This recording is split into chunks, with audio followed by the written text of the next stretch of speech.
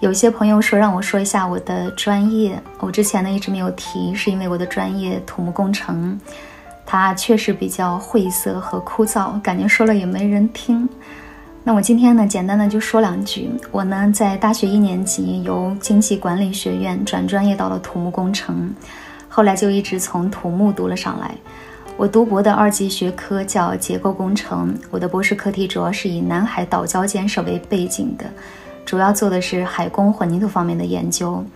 我们国家的南海建设，了解的朋友都应该知道，现在的建筑材料现在基本上都是用军舰从海南啊、广东啊这些大陆运输到岛礁上去的，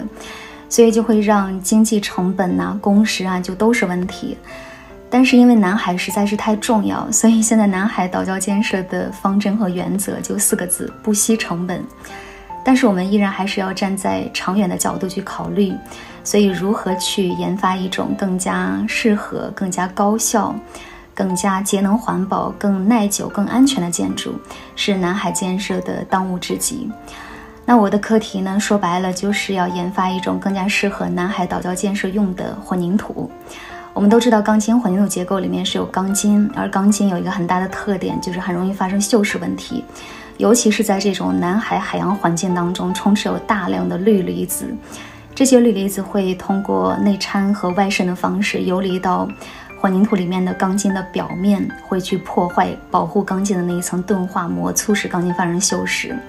所以基于这样的考虑，我的课题就是说不用钢筋，把研发出来的混凝土做成制品，做成气体结构，去研究它的力学性能和热工性能。我们国家关于南海建设的科研项目是近几年来才慢慢审批下来，才开始有人去做。所以，关于这种混凝土设计成制品这方面的研究，国内现在还没有，所以它也成为了我博士论文的一个创新点。做了三年的实验，写了一年的论文。呃，所以我们国家对于博士的这个毕业的要求啊，就是每一本博士论文都必须要对人类科研。做出微小的贡献，并且呢，必须要被同行所认可，因为我们毕业的时候要有盲审，盲审过后才能有答辩，答辩才能毕业，所以对博士真的是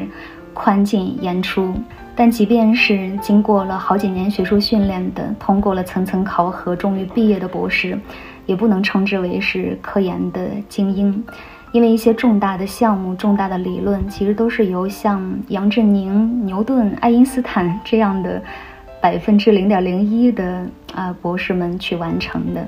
而其余的百分之九十九点九九的博士，只能称之为是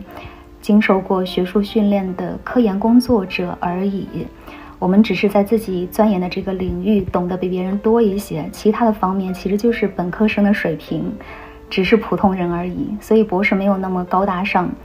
尤其在我们做实验的时候啊，在我们土木楼后面的实验场地，放眼望去，呃，那些扛水泥袋子的、砌砖的、这个推斗车的、拌混凝土的，就都是博士和硕士。